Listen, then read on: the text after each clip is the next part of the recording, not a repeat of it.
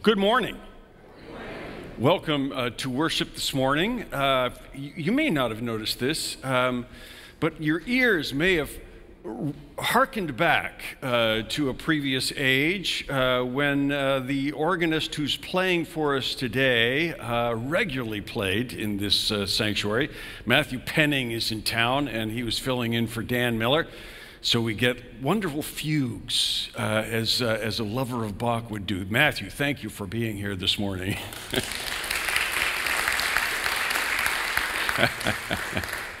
been great to see Matthew this week. A um, few announcements uh, to bring to your attention. Um, as uh, we've been doing every week, just remind you uh, these yellow cards, really helpful for us, and we're inviting everyone to fill one of these out every Sunday and throw it in the offering tray when it comes by you. Really appreciate your willingness to do that. Um, remind you that uh, there is a, a, worship night coming. Uh, just what's the date of that? August 12th. Um, so it's uh, a week and a half away, and, uh, um, and invite you to uh, actually next Sunday, right? Is that right? Six days, Saturday night. Okay. I put down here worship night. I didn't put any details for when it was or what time it was. Uh, so that's brilliant. Uh, way to go, Pastor Jim. We are meeting uh, out on the patio for that uh, and uh, invite you to come, uh, filled with uh, opportunities to sing uh, wonderful worship music. And we'd love to, to share that evening with you next Saturday night.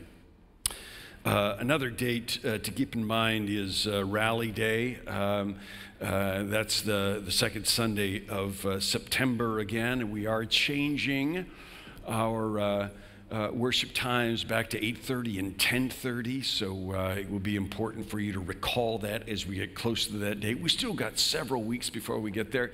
So uh, stock up on an extra half an hour of sleep between now and then uh, and, uh, and we'll start uh, rally day um, on the 10th of september at 8.30 wonderful. Um, gather this morning um, and uh, prepare our hearts uh, for worship uh, by uh, beginning with uh, a brief order for confession and forgiveness. I'll invite you to stand uh, this morning as we share in that confession. We begin in the name of the Father and of the Son and of the Holy Spirit. Amen. Almighty God, to whom all hearts are open, all desires known, and from whom no secrets are hid, cleanse the thoughts of our hearts by the inspiration of your Holy Spirit, that we may perfectly love you and worthily magnify your holy name through Jesus Christ our Lord. Amen. I invite you to kneel as you are comfortably able and share this confession.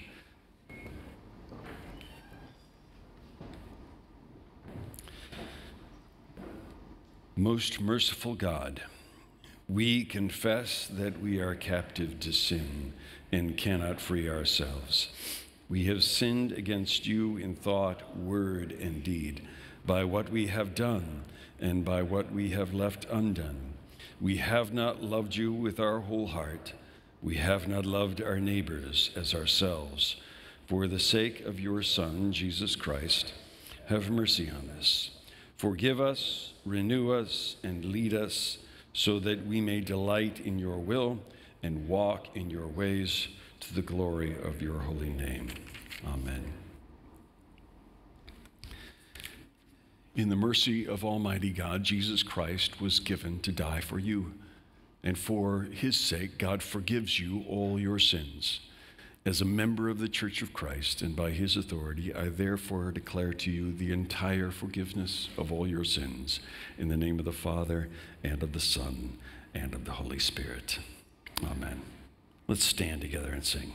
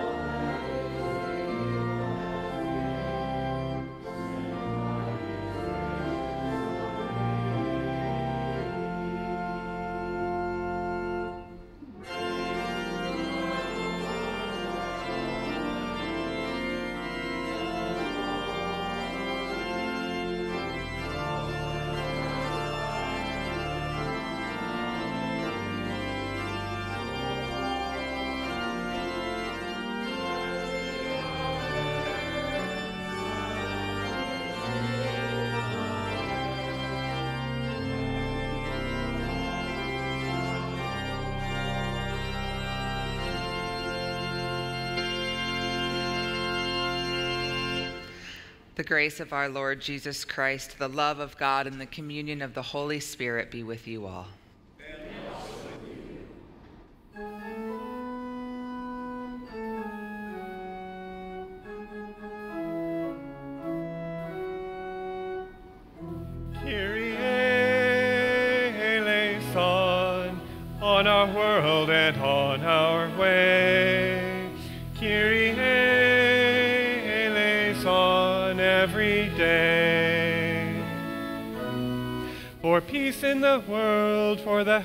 The church, for the unity of all. For this holy house, for all who worship and praise, let us pray to the Lord. Let us pray to the Lord. Kyrie eleison, on our world and on our way. Kyrie every day that we may live out your impassioned response to the hungry and the poor, that we may live out truth and justice and grace, let us pray to the Lord. Let us pray to the Lord. Kyrie eleison, world and on our way. Kyrie eleison every day. For peace in our hearts, for peace in our homes, for friends and family. For life and for love, for our work and our play, let us pray to the Lord. Let us pray to the Lord. Kyrie eleison, on our world and on our way. Kyrie eleison, every day. For your Spirit to guide, that you center our lives in the water and the Word, that you nourish our souls with your body and blood, let us pray to the Lord. Let us pray to the Lord.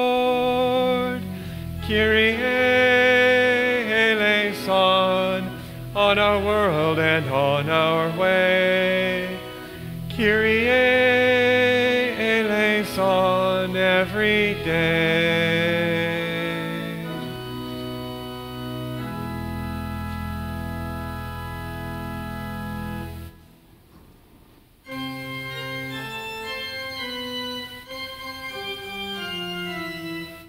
This is the feast of victory for our God, for the Lamb who was slain has begun his reign. Alleluia.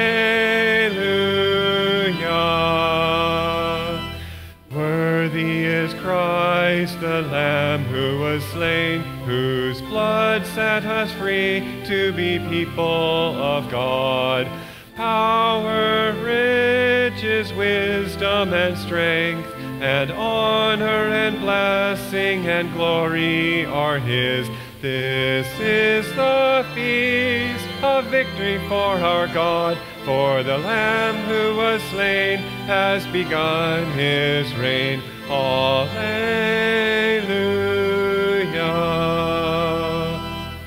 Sing with all the people of God and join in the hymn of all creation. Blessing, honor, glory, and might be to God and the Lamb forever. Amen. This is the feast of victory for our God, for the Lamb who was slain has begun his reign. Alleluia.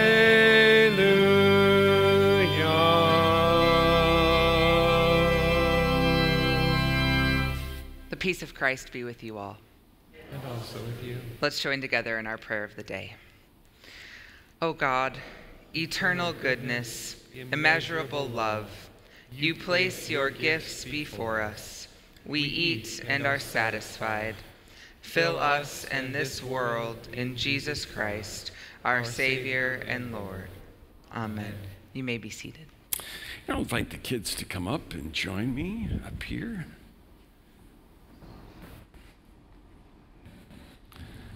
All right.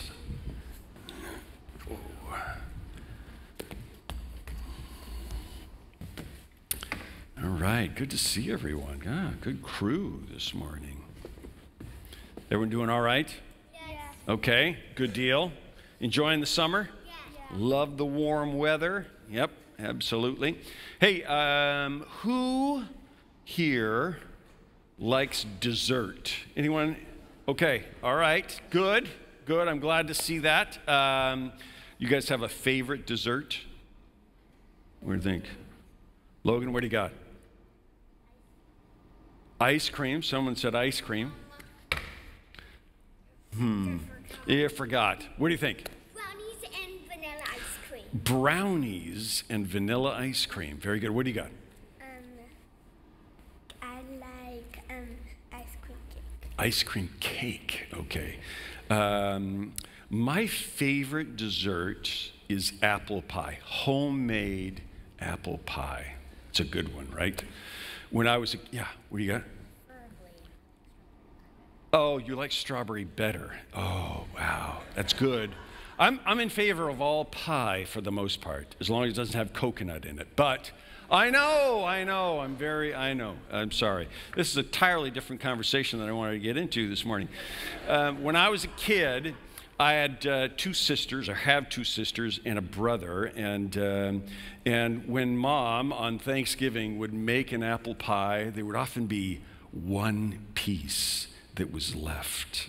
I was too full to eat another piece of pie, so what I would do, I would save it for the next day, right? The problem is, with two sisters and a brother, how can I be sure that it will be there when I wake up in the morning? You know what I did? I would put it in the cupboard where no one would find it. So when I got up, I know I'm very cruel, aren't I? It's very selfish, Pastor Jim. Pastor Jim was not always the upstanding citizen you see before you now. Um, so I would save the pie for later, right? Um, we use that word save a lot in the church, right? I'm saved and you're saved, all of us are saved. So the question is do you think God thinks of saving like I do with the apple pie, right? Hold it for later, right? Save it up for later. When we get to heaven, we'll get to be with God. I think that's not right. I think God saves us to make a part of the work of saving, right?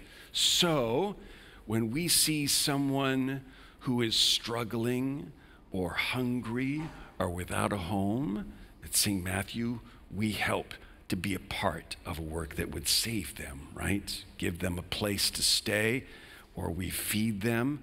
So, in the same way, we see um, our world with a climate that's um, sort of changing and in trouble, and we would want to help save it, right? When we see um, nations that are being abused by others, we would want to help save them, right? So the work of saving is not just God saving us up for later, it's about welcoming us in to the work of saving, right? To be a part of it, faithful in the world. That's a that's a good reminder. We're going to talk about that a little bit today with some texts that you guys might know. So, can we pray about that? All right, let's pray. Lord, we thank you that you save us. You work in each of our lives, each of our hearts, each of our own stories to hold us and keep us and claim us. But Lord, you are in the work of saving the world. And we know that you invite us into that good and holy work. Lord, feed our imaginations, our efforts, and our hope on the gift of that saving work. We pray all these things in Jesus' name. And everyone said, Amen. All right. Thank you for coming up this morning.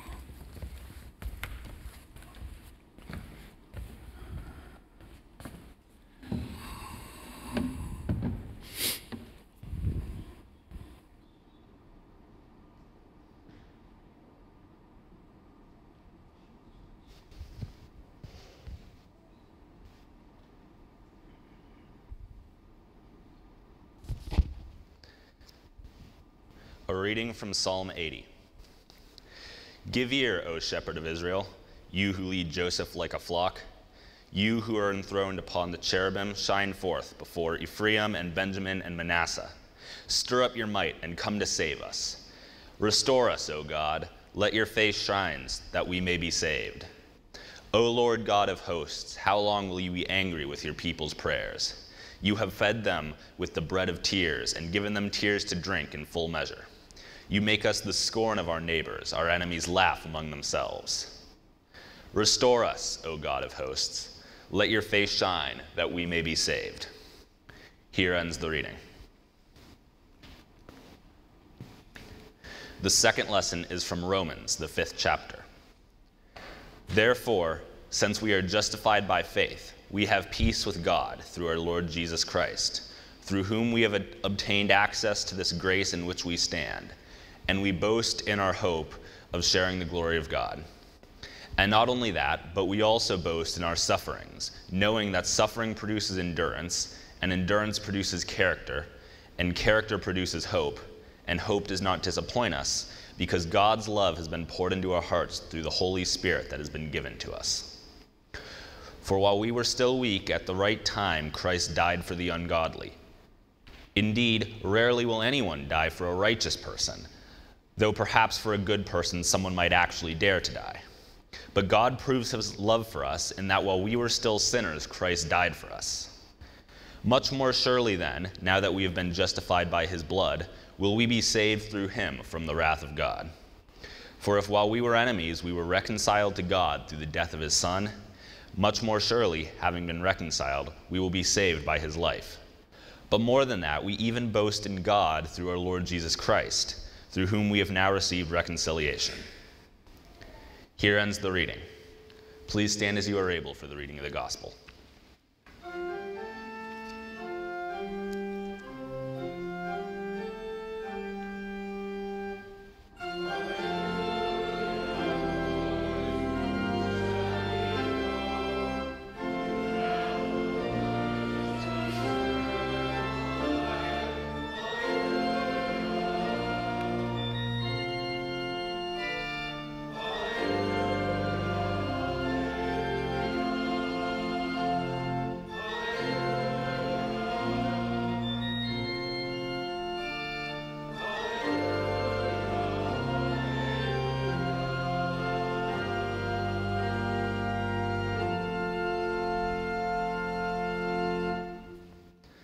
Holy Gospel according to St. John, the third chapter.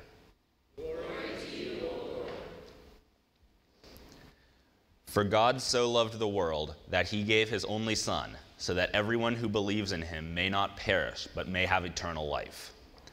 Indeed, God did not send the Son into the world to condemn the world, but in order that the world might be saved through him.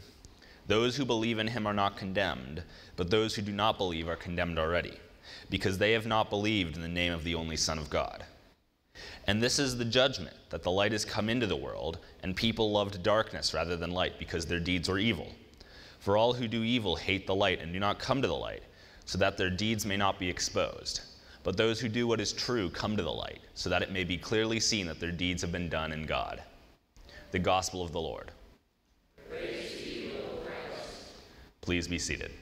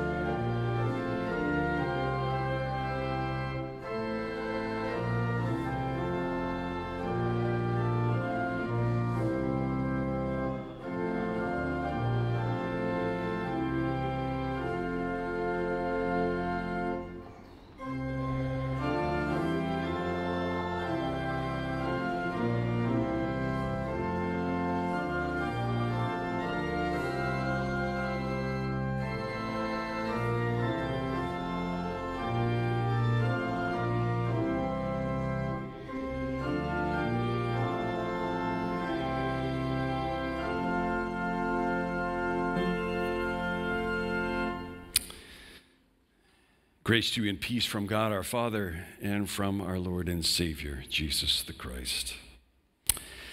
Uh, this summer we've been um, working through a, a, sermon series that invites us uh, to, to think seriously about how Scripture works as a, as a resource uh, for the Christian life, right? The Christian life is not best defined by a list of do's and don'ts, right? Um, our, uh, our faith in our relationship with God um, is, um, is, uh, is active and engaged. And, and the Bible that we hold dear is a, is a, a collection of testimonies from people who shared lives like ours, shared lives in relationship with God. So, um, so themes like justice and, and mercy and righteousness and compassion, all of these themes we find laid down in Scripture, not described as dogmas but rather represented in stories. And the wonderful thing about this wonderful collection of, uh, of testimonies and stories is that they work together, right? They work in, uh, in, in coordination and sometimes competition. There's, there's a, a moving against each other and, uh, and, a, and, a, mutual support of complement uh, between these stories as we engage in them. So we have these contrasting themes that come to us, invite us to imagine how both can be true, how we can see the, the truth in the midst of, uh, of the contrasting stories. Um, it does make, I will admit, um, for um, challenging um, our study of Scripture, challenging how we preach uh, Scripture. And, um, and I, uh, I, wrote up this, uh, this sermon series and uh, defined these wonderful, contrasting, challenging texts. And then I went on vacation for three weeks and, uh, and asked uh, Pastor Jess and Deacon Sue to, uh, to just take on the challenge of those texts and really dive in and work hard at those passages. And um, I want to apologize to the two of them I want to. I'm not there yet, but I, I want to. And that's the first step um, to uh, redeeming that. But uh, they both did so well, I, I don't see any problem with it at all. We're, uh, we're all uh, good. Actually, um, uh, last Sunday, uh, Pastor Jess took on the task of defining sin. And actually, this morning, for the next couple of weeks, I'm going to be building on uh, Pastor Jess's description or definition of sin, and we'll kind of develop an ongoing understanding of the themes we have uh, this morning and for the next couple of weeks. Uh, sort of a, a progressive sermon that extends over several weeks. Um, Pastor Jess. Uh, uh, uh work to define the, the understanding of, sin, of sin uh, in the scripture. And there are two um, definitions for sin, as uh, she describes it. There's sins, that is plural, right, which are the individual infractions against the law, right? The Hebrew word for sin and the Greek word for sin, both of them mean missing the mark, right? So God's law is the mark. And when we miss the mark, we have sinned, right? So, sins in the plural refers to the individual infractions uh, against the law. But the New Testament, and in particular, the Apostle Paul, talks about sin in a new way. Not sins plural, but sin meaning a generalized condition of brokenness that all of us reside in, right? We are sinners.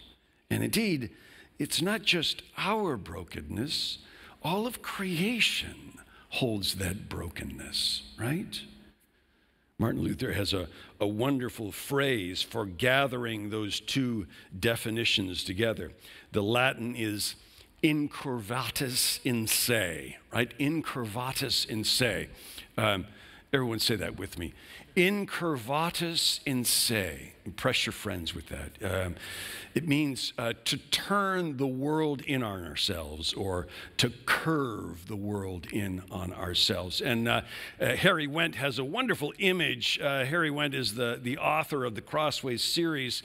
And uh, this is the image he uses uh, to talk about sin. It's all through uh, this, the, uh, the two year series uh, that he writes for understanding Scripture.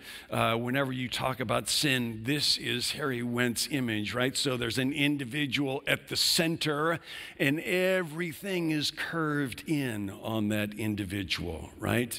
All the interests of the heart of, of, of, of containing or self containing uh, the focus of our understanding about the world. So, this is the definition uh, for sin or the image for sin. Today we're talking about salvation.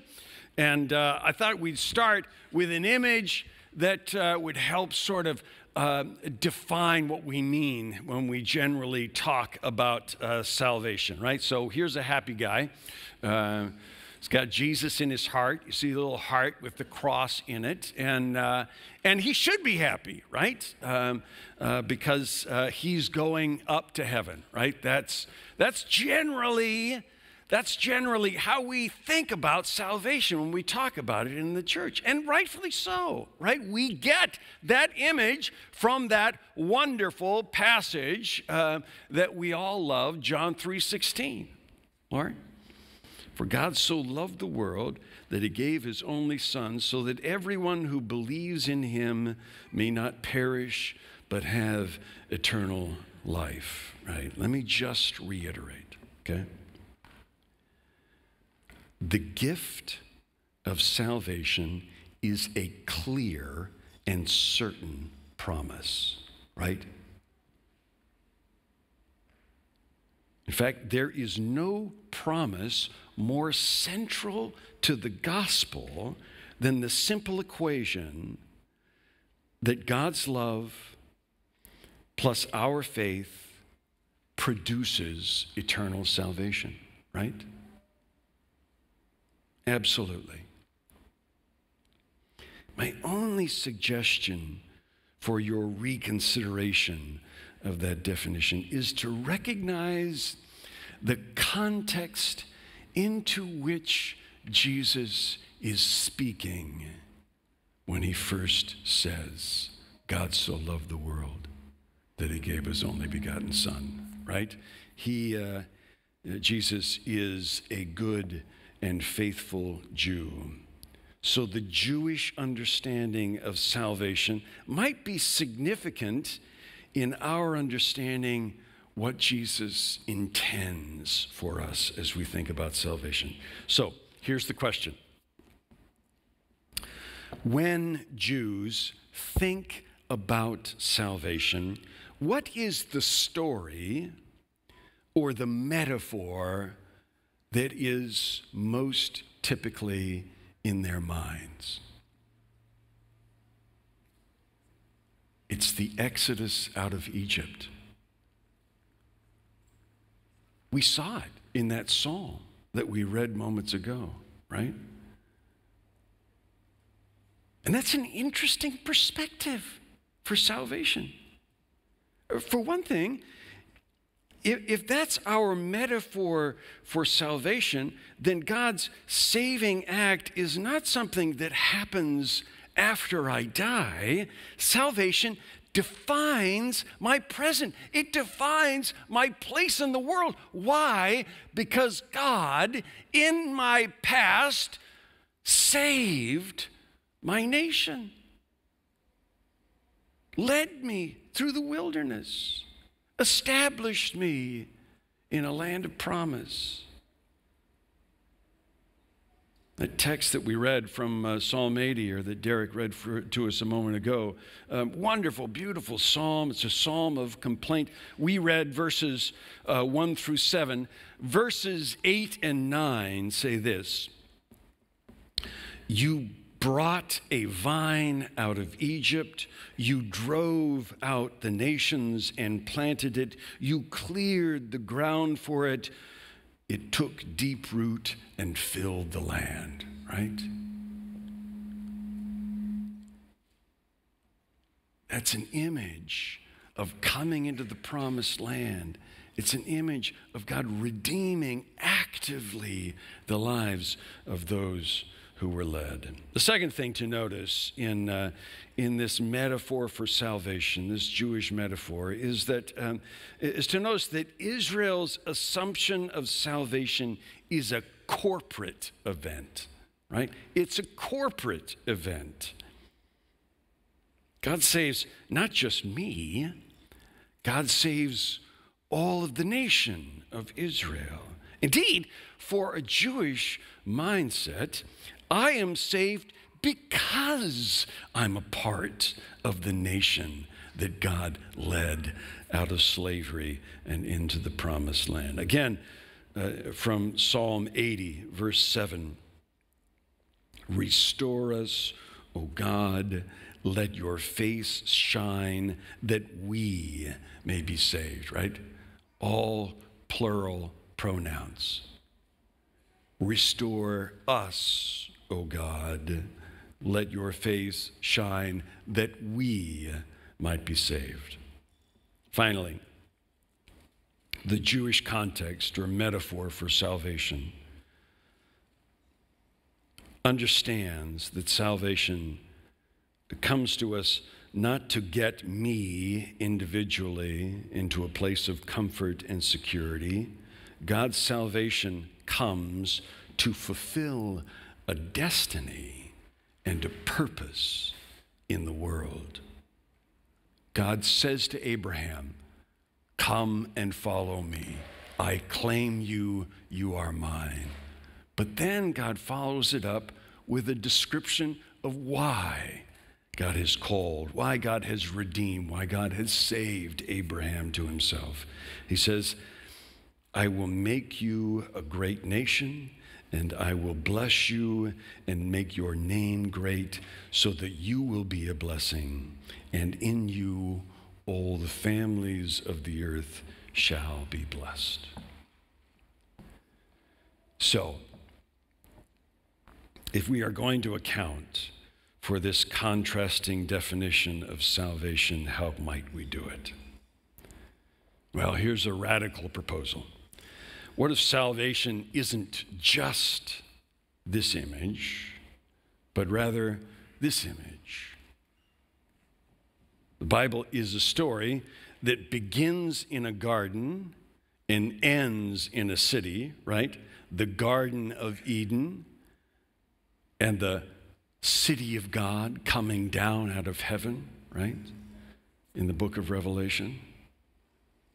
God in the work of salvation, the understanding that, that captures the entire scope of that work of salvation, recognizes that there is a sin that has fractured that good creation, right? It has fractured and broken the world out of what God intended for it. And the repairing of that sin is salvation. But not just the human event of salvation. No, if we're thinking about that work, the full scope of that work of salvation, it's not just humans being saved, it's a power and an authority that redeems all of creation, actively engaged in the process of salvation for all the earth. Let me say this again. None of these contrasting passages are intending to say that one is true and the other is false. That is not what I'm saying. No, these two definitions for salvation work together to clarify the truth of how we understand salvation. But what I hope is clear in this consideration is that Jesus does not come to be a resource to make you a better you. That's not the primary intent. No, Jesus saves you to make you a part of the great task of bringing salvation into the world. It's not about a little Jesus coming to live inside of my heart to, incle- to increase my self reverence and my isolation. It is about making me a little part of the kingdom of God that is coming into the world and into our lives. For God so loved the world that he gave his Son that all who believe, all who trust in him, will have the gift and become a part of the gift of eternal salvation. Amen. Let's stand this morning and confess our faith. This morning, our confession is the Apostles' Creed. We confess, I believe in God the Father Almighty, creator of heaven and earth. I believe in Jesus Christ, his only Son, our Lord. He was conceived by the power of the Holy Spirit and born of the Virgin Mary. He suffered under Pontius Pilate, was crucified, died, and was buried. He descended into hell. On the third day, he rose again. He ascended into heaven and is seated at the right hand of the Father. He will come again to judge the living and the dead. I believe in the Holy Spirit, the holy Catholic Church, the communion of saints, the forgiveness of sins the resurrection of the body, and the life everlasting. Amen. The peace of the Lord be with you always. Please greet each other uh, as you're comfortable with that blessing of peace this morning.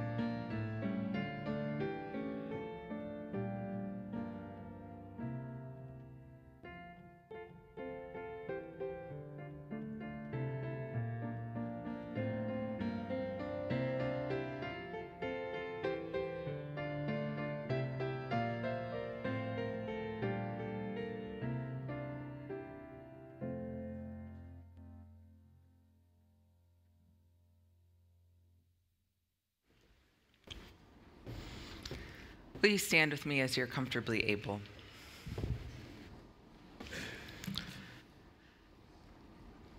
As our Lord and Savior Jesus Christ gathered with his friends uh, the night before he was, or actually the night that he was betrayed, he gave another gift, uh, a gift that coincides with our salvation, and that is the promise to be present in this meal whenever we gather and partake in it. And it's one of the many things that we do, but one of the most important things that we do to remember that gift of salvation. And we remember that we take of it together in community, gathered together, as that is the point of a meal. And the point of the Lord's meal is to be together and to recognize Jesus' love present in the midst of it. And so we remember that on the night in which he was betrayed, our Lord Jesus took bread, broke it, gave thanks, and gave it for all to eat, saying, Take and eat, this is my body given for you. Do this for the remembrance of me. Again, after supper, he took the cup, gave thanks, and gave it for all to drink, saying, This cup is the new covenant in my blood, shed for you and for all people for the forgiveness of sin. Do this for the remembrance of me. And so we pray together as he taught us. Our Father, who art in heaven, hallowed be thy name. Thy kingdom come, thy will be done, on earth as it is in heaven. Give us this day our daily bread and forgive us our trespasses, as we forgive those who trespass against us. And lead us not into temptation, but deliver us from evil. For thine is the kingdom, and the power, and the glory, forever and ever. Amen. The bread has been broken, the wine has been poured. These are the gifts of God for the people of God, and all are welcome at Christ's table. You may be seated and come forward as the ushers guide you. For those of you who are at home, if you are with other people, I would invite you to serve one another. And if you are not, please hear these words This is the body of Christ given for you. This is the blood of Christ shed for you.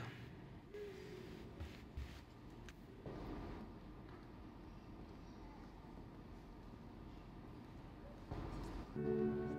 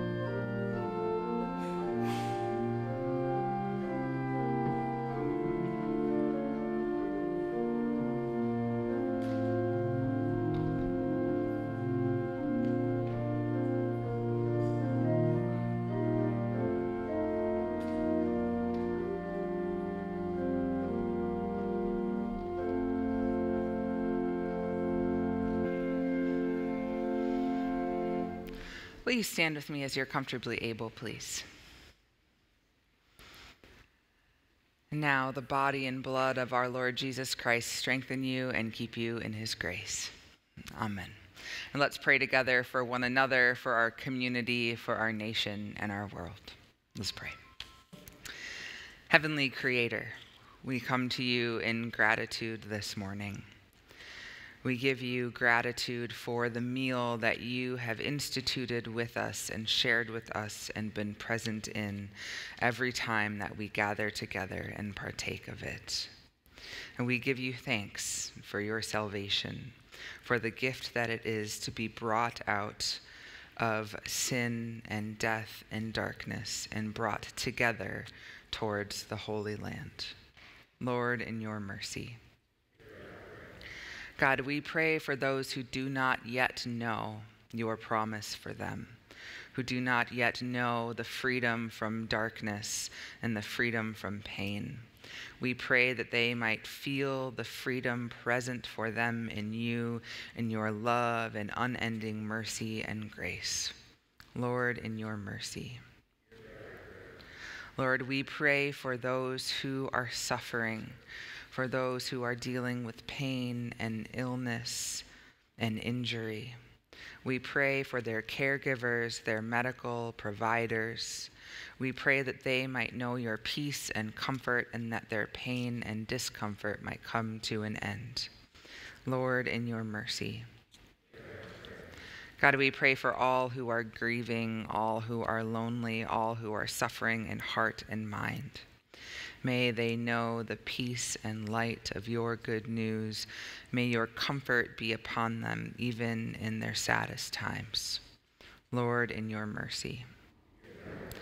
God, we pray for our planet in the midst of difficult weather, in the midst of violence, in the midst of climate change. We pray for care for all humans, but also for all of creation. Lord, in your mercy.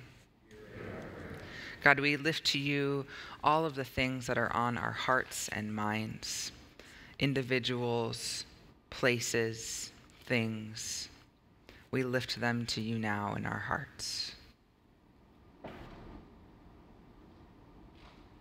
God, we lift all of these prayers to you and the prayers that you know are on our hearts even when they're not spoken.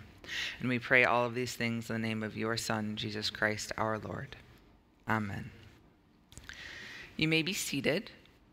We are actually going to bring forward the middle school service learning team before our benediction. So I'm going to hand the speaking part over to Pastor Jim because I am attending, so I can't commission myself.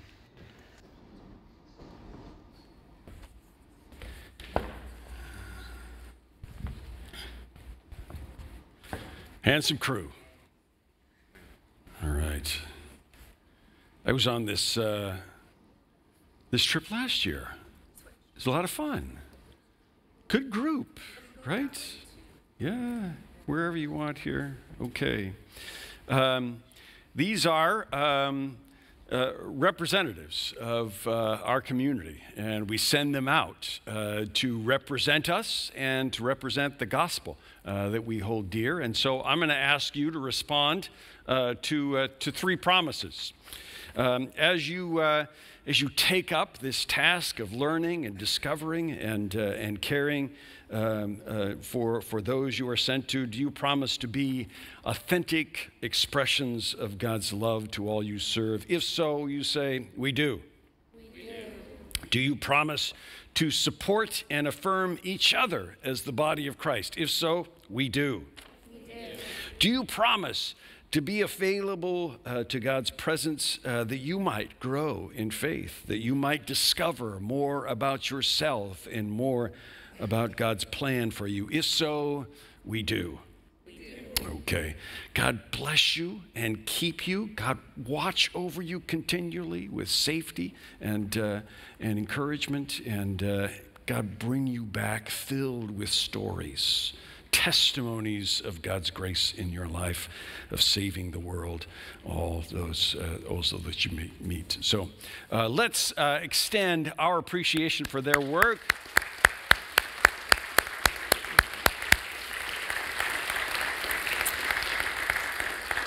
They're going to be commissioned at the beginning of the second service so everyone can celebrate them, and then they're taken off before, uh, before the end of that service, which means you have the wonderful privilege of actually seeking out one of them this morning after the end of the service and asking them about, uh, about uh, going and the trip itself and your appreciation for their work. Let's send them out now. Okay, go ahead, guys. Yeah, uh, sure. I, we did a blessing just with like an additional prayer. So let's pray for you. Let's watch, uh, God, please watch over uh, these, um, um, these students and, uh, and disciples and uh, members of our community. Uh, keep them in your, your safety and, uh, and your care and, and fill them up for, for all the work that you, you have made them a part of. All these things we pray in Jesus' name. Amen. Okay. All right. You can go out.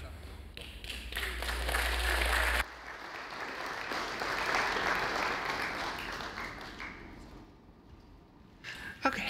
Are you doing the Stand. No, go benediction? ahead. Okay. Will you stand with me as you're comfortably able? Now the Lord bless you and keep you. The Lord make his face shine on you and be gracious to you. The Lord look upon you with favor and give you God's peace. In the name of the Father and of the Son and of the Holy Spirit. Amen. We'll join together in our closing hymn now.